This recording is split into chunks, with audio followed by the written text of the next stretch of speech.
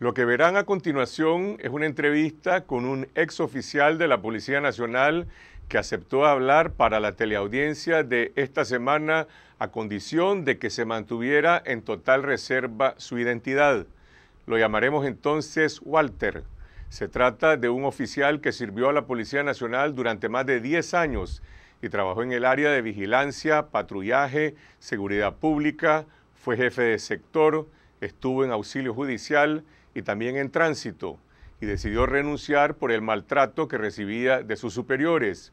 Nuestro colega Maynor Salazar conversó con Walter para conocer cómo ha sido afectada la policía en la base por el proceso de partidización impuesto por el presidente Ortega en los últimos nueve años. Le preguntó sobre las denuncias que con frecuencia hacen los ciudadanos sobre el cobro de coimas y también sobre los casos de abusos policiales que se mantienen en la impunidad. Y esto fue lo que respondió.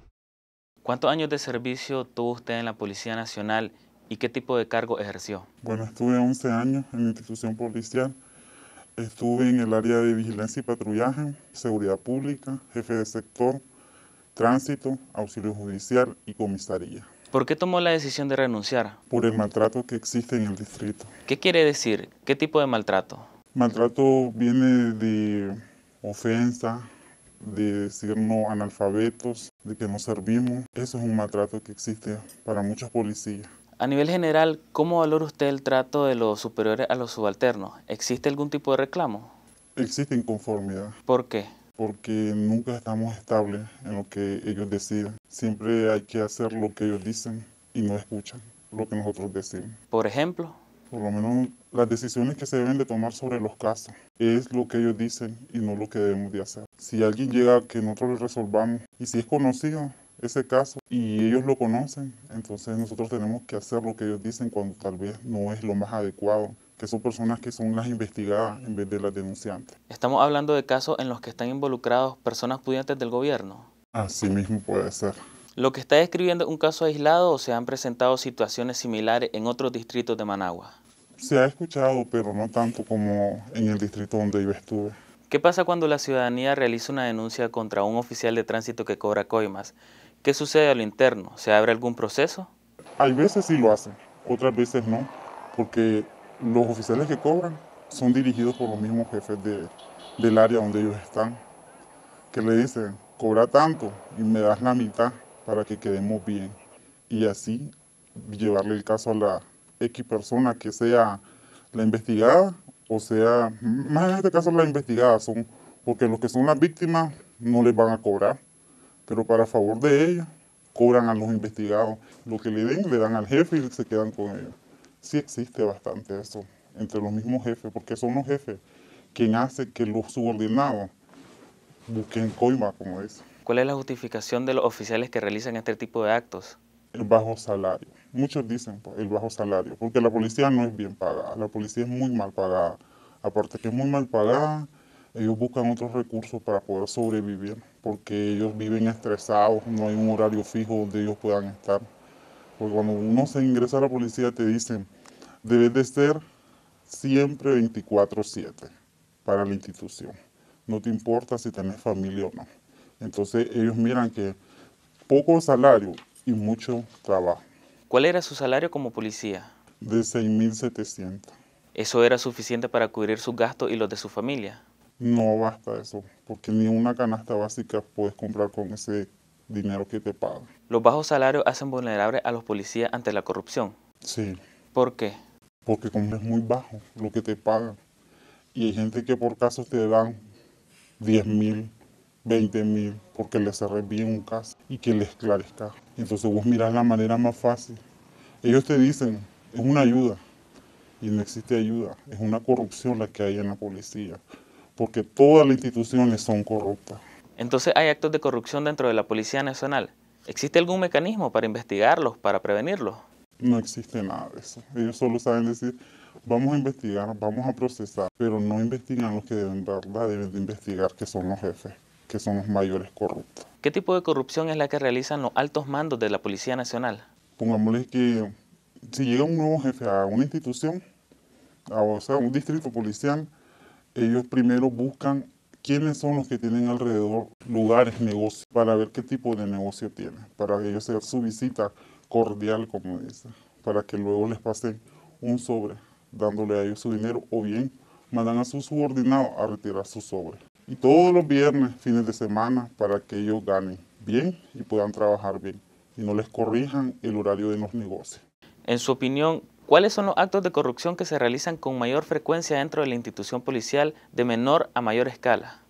De menor escala son los de vigilancia, que yo por cualquier cosa ahí te ofrecen en los negocios, en las donde vayas empresas. Y la de mayor escala son los jefes, que van a cobrar a los discotecas, que van a cobrar a agencias aduaneras, que van a pedir disque ayuda para la institución para actividades cuando nunca existe eso. Porque las actividades las hacen por medio de la policía de bajos recursos, que ellos buscan cómo sobrevivir para hacer una actividad para sus hijos o para ellos. ¿En qué año entró usted a la Policía Nacional? En el 2005. usted le tocó vivir dos periodos presidenciales del comandante Ortega dentro de la Policía Nacional. ¿Cómo cambió la institución en ese tiempo?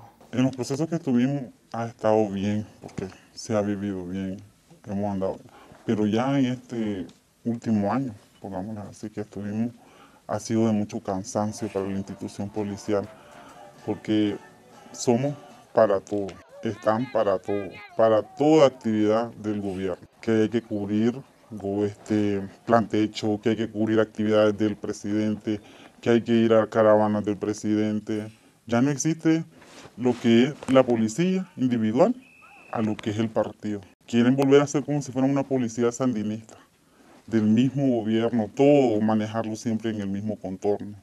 Y de que lo que hagan o lo que digamos siempre se va a mantener bajo, abajo, que nadie diga nada, que nadie opine nada, porque la frase que ellos solo saben utilizar, estamos por el presidente y somos del presidente. ¿Cómo se posicionan los policías ante este tipo de cambio político dentro de la institución? No tenemos derecho a opinar, debemos de callar, porque somos apolíticos cuando no existe eso. En general, ¿están de acuerdo con este modelo vertical? No, pero no podemos decir nada, porque es un temor que tenemos, porque si hablamos mal, nos corren, y si hablamos bien, nos mantenemos. ¿Existen bandos dentro de la Policía Nacional? de esos que tal vez no quieren hablar? Sí existe, pero como te digo, no pueden opinar. Ellos pueden decir, no voy a las actividades porque te obligan a que hagas actividades del partido, a que escuches música del partido. Aunque vos no quieras escuchar, tenés que escucharla. Entonces no puedes ni hablar ni reclamar porque ya te dicen, sos liberal y te mandan a una comisión. ¿Cómo reaccionan los policías cuando la institución se involucrada en actos represivos o delictivos que quedan en la impunidad? Por ejemplo, el caso de Ocupains o las denuncias de abuso en las cárceles de Nueva Guinea. Que existe mucha injusticia y que no podemos hacer nada. Eso es lo único que podemos hablar. ¿Hasta qué punto como oficial esto trastoca la personalidad? Cuando uno se mete en la institución piensa que vas a servir a dar respuesta, a dar satisfacción, pero cuando ya miras todos esos tipos de casos que usted está hablando, te sentís que no vale la pena ser policía porque no llegas a ser policía, sino que llegas a ser un mandadero más de la institución. Uno de los casos más polémicos en el que estuvo involucrada la Policía Nacional fue la masacre en las Agüitas. ¿Cómo afectó la imagen de la institución desde adentro cuando un oficial mata portando un uniforme? Afecta mucho, porque ese policía que mató fue dirigido, no fue porque él quiso hacerlo. Cuando vos te dicen, vas a tal lugar hay que ir a tal lado. Si se mueve tenés que dispararle. Y eso es lo que hizo él, recibir orden.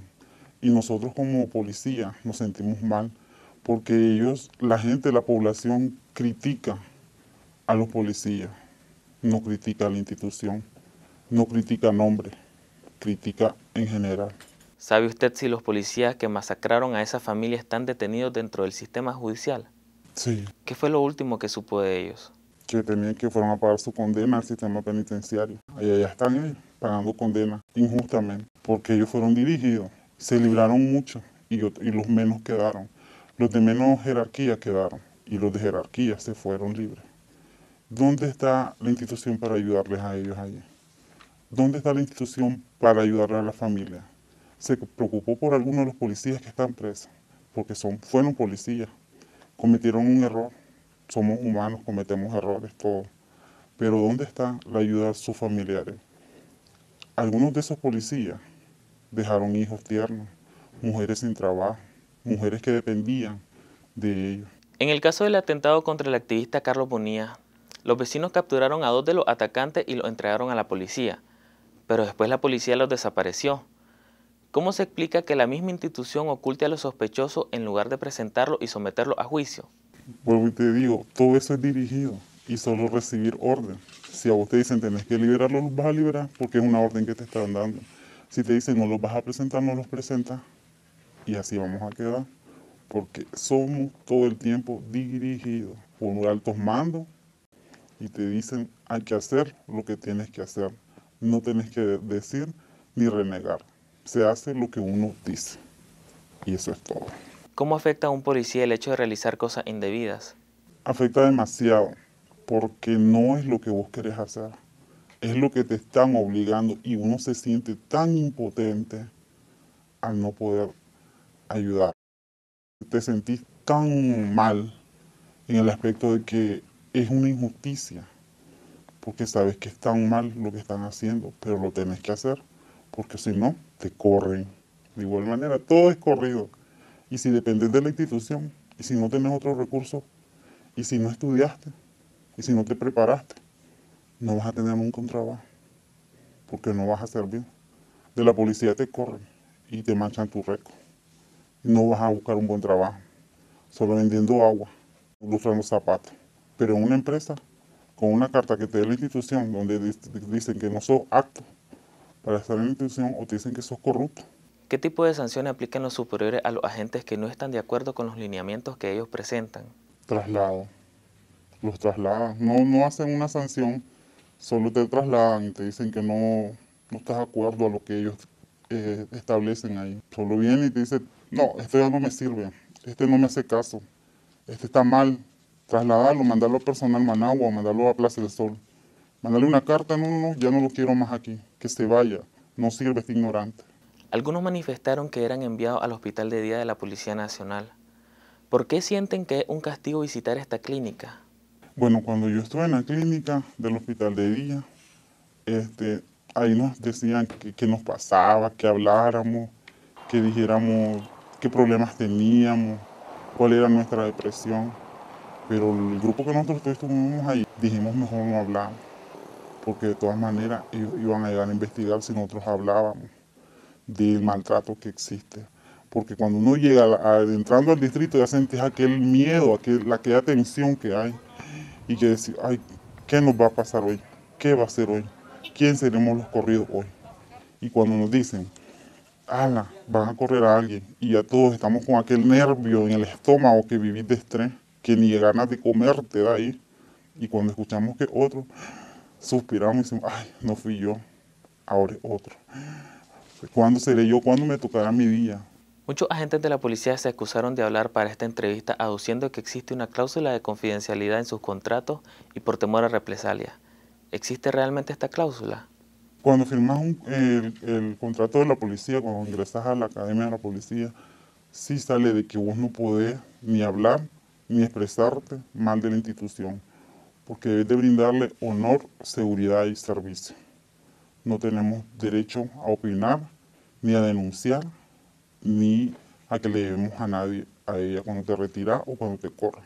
Ni derecho a tu liquidación, ni derecho a tu tranquilidad por temor a lo que vos vayas a hacer.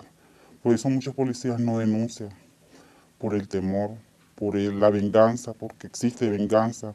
Si se dan cuenta, te investigan, hasta te pueden perjudicar. Por lo menos yo estoy aquí sentado, cubierto, donde nadie me pueda ver, por temor a la represalia que puede existir, por temor a que no sé qué mira pasar el día de mañana, si se dan cuenta quiénes somos los que denunciamos porque ellos cuando se lleguen a enterar quiénes son, no existiremos tal vez en la vida de la institución policial, porque ya no somos buenos para ellos. Entonces, ¿por qué accedió usted a hablar para esta semana? Porque tal vez así, digo yo, ¿verdad? Estoy defendiendo los derechos de muchos policías que no pueden hablar, porque sí existe mucho maltrato en la institución. ¿Tenés miedo? Sí. ¿Cree que esta entrevista pueda ayudar en algo a sus compañeros? Espero que sí, que valga el miedo que siento de estar aquí sentado, que valga, por lo menos. Así van a dejar de ser maltratados, porque hay muchos policías que tienen estrés, que sufren, que los llevan, los procesan, los corren sin justificación. Eso es lo que dice Walter, un ex oficial de la Policía Nacional, que al hablar con este medio de comunicación admite que tiene miedo, pero confía en que valdrá la pena para defender los derechos de muchos policías que no pueden hablar. De manera que esperamos que en vez de tomar represalias contra los oficiales de la Policía Nacional que comparten esa clase de inquietudes, la institución policial se abra a dialogar para recuperar también la confianza de los ciudadanos.